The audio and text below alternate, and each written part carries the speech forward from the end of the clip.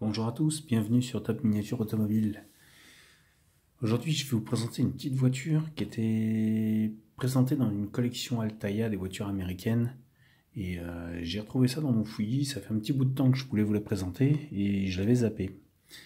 Je l'avais mis dans un coin et je m'en suis plus rappelé, je l'ai retrouvé. C'est la Buick Century 75, 1975, dans la série Free Spirit Buick. Alors, c'est une voiture que je trouve très intéressante par son, look. Parce que comme vous le voyez, elle possède un T-top.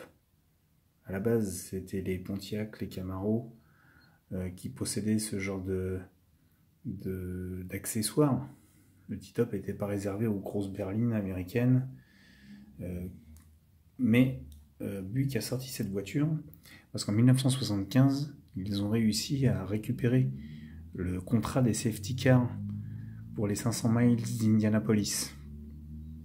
Et ils voulaient marquer le coup en sortant une voiture euh, unique.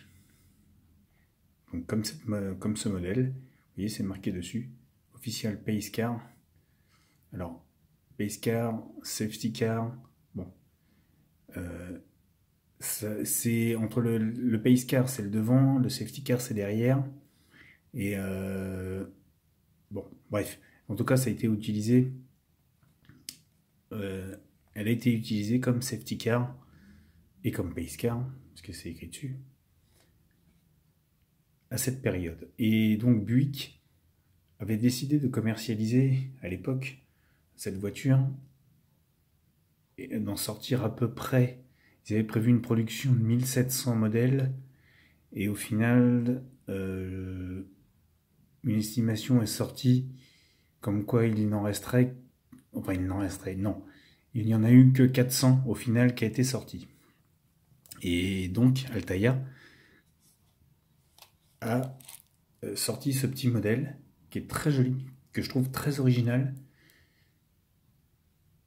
avec ses couleurs patriotiques qui reflète un petit peu le, drapeau américain, bleu, blanc, rouge, le Free Spirit, l'esprit libre, le gros logo avec l'aigle sur le capot, qui sont magnifiques. Cette voiture, elle avait été produite avec un 5 litres 7 de mémoire en cylindrée pour une puissance de 165 chevaux. Euh, pour une voiture quand même qui était assez grosse mais les, V8, on sait qu'ils ont du couple. Donc, 165 euh, chevaux pour un paquebot comme ça, c'était euh, raisonnable. Voilà, mais moi c'est une petite voiture qui... une Pardon. Et moi c'est une petite voiture qui m'interpelle beaucoup. Alors, je l'ai échappé parce qu'en fait, je suis un peu handicapé en ce moment. Je me suis blessé. Donc je n'ai qu'une main de libre pour euh, présenter les voitures. Donc cette euh, voiture, moi je la trouve très intéressante par son look. Alors déjà la Buick, c'est une voiture que j'aime bien physiquement. C'est un paquebot américain euh, classique des années 70 et franchement il est magnifique. Mais avec ce T-top et ce drapeau américain, enfin ces couleurs patriotiques et sur, le, sur les flancs, elle est encore plus belle. La lunette arrière en V comme ça est magnifique. Les petites custodes, le grand pare-brise. Et là, on retrouve bien sûr l'avant classique de la Buick Century avec cette grande calandre énorme mais magnifique. Alors je ne l'ai pas descendu du socle parce que bon, c'est euh, du 1,43. Donc niveau détail en dessous, euh, on, imagine ce que ça représente, mais moi je voulais vous la présenter telle que, parce qu'elle me plaît bien.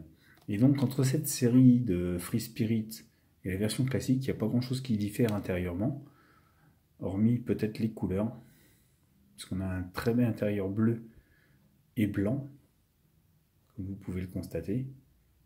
qui rend la voiture vraiment euh, claquante à l'œil. Les jantes blanches, les jantes rallye 5 branches.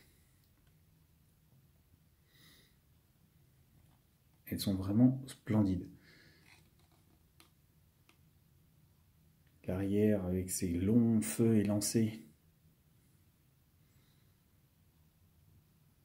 qui lui donne une bouille vraiment agressive.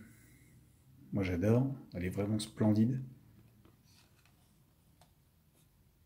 Et là, Altaïa a ressorti. C'est pas une voiture qu'on trouve couramment euh, à, toutes les échelles. Et là, le fait d'y avoir pensé au 1.43, bah, c'est d'autant plus agréable de trouver une voiture quand même qui, euh, selon les estimations, n'est sortie qu'à 400 exemplaires à l'époque. Donc, euh, il fallait y penser, il fallait. celui qui a eu l'idée de la sortir a eu vraiment une très très très bonne idée, parce que euh, modèle quand même très rare. Tout ça pour euh, tout ça pour cette euh, cette année 75 où Indianapolis donc a embauché Buick pour les représenter sur le circuit. Voilà. Et là, on peut voir qu'Altaïa, ne serait-ce qu'au niveau des décalques et de la déco, on fait un très bon boulot. Parce qu'on a quand même la plaque d'immatriculation. On a donc les logos. On a le pare-choc avec cette, euh, cette ligne orange au milieu. On a les bumpers en noir. Sur le flanc, on a tout le détail de la déco officielle du Pacecar. Les pneus siglés Goodyear.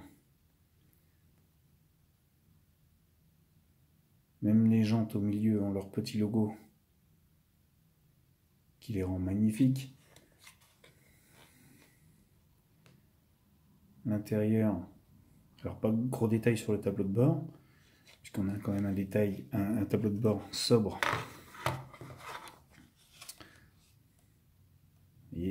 on est sur du 1,43 quand même. Donc voilà, mais en tout cas, euh, la voiture, elle, extérieurement, est très bien réalisée. Les plaques d'immatriculation à l'arrière est présente. Le logo Buick et la serrure sont représentés. À l'arrière également, cette ligne orange sur le pare-choc et les bumpers bien représenté. Et le logo sur le côté également. Les entourages de vitres ont été peints comme s'ils étaient chromés d'origine. Il y a eu un effort de finition sur cette voiture quand même qui est très jolie. Donc c'était un fascicule qui était vendu, euh, je crois, de mémoire 16,90, un truc comme ça, 16,99 en, librairie. Et ça fait un petit bout de temps, je vous dis, et je l'ai retrouvé il n'y a pas longtemps. Voilà. Pour vous dire que j'ai dû fouiller. Ce qui est bien, c'est qu'il y a le petit, donc la petite boîte. Elle est vendue telle que, je vais pas la fixer parce que, voilà, avec le fascicule, ça donne ça. Alors c'est pas une collection que j'affectionne particulièrement parce que les voitures américaines, il y en a beaucoup. Euh, il y en a eu beaucoup de séries de sorties, beaucoup de modèles répétitifs dans les, séries, mais en tout cas, euh, celle-ci m'a énormément plu par sa finition parce que, comme je vous disais, c'est vraiment très rare de trouver une grosse berline américaine avec un T-top. Voilà. Donc à savoir qu'à la place du trou, là, puisque là, on normalement, il y a deux, deux demi-toits en verre qui s'enlèvent pour profiter. C'est pas un cabriolet, c'est pas un coupé, c'est pas une sportive, mais c'est très agréable d'avoir les cheveux au vent. Voilà. Et bien en tout cas les amis, je vous laisse découvrir ce modèle si vous ne le connaissiez pas. N'hésitez pas à me dire ce que vous en pensez. Sur ce, je vous laisse et je vous dis à bientôt. Surtout si vous n'êtes pas encore abonné, c'est le moment, abonnez-vous. Je vous attends et je vous dis à bientôt pour une nouvelle vidéo.